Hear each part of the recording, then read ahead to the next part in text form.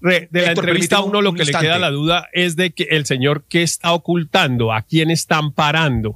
Y a, esas preguntas hay unas respuestas. Claro que lo primero que está ocultando es delitos, llamémoslos propios, lo que él porque él resolvió que lo que había era unos delitos, lo que había era unos delitos ajenos en los cuales él simplemente era un intermediario. Y claro que está ocultando los delitos propios además a quién está protegiendo o a quién eh, le da miedo, de quién le da miedo hablar, ¿Sabe a quién está protegiendo? Al presidente Gustavo Petro, por ejemplo, que dijo... Sí, porque eh, en vez de pedirle perdón a los niños de la Guajira, le perdió perdón al presidente. Y a pero que, por ejemplo, cínico. A sus amigos. Él y, está al, y, al, senador Trujillo. Y a Trujillo. de acuerdo. Claro, no, claro, claro. El tipo, es, el desgraciado se robó la plata del agua de los niños de la Guajira y sin ningún pudor dice aquí básicamente que él, o sea, entre líneas lo que nos dijo es, no, yo no me robé un peso, yo solo seguí órdenes. pero vea los eh, dos resultó, resultó un prócer. Vea los Entonces, a mí me parece... Un impudor, eh, un impudor es que él, claro que se robó una plata,